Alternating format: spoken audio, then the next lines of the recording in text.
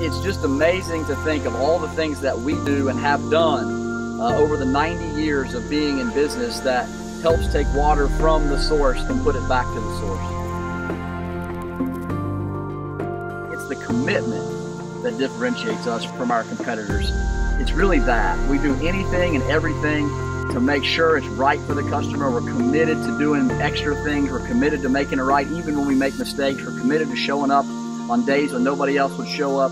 So it's the commitment piece of the customer service that really differentiates us from our competition.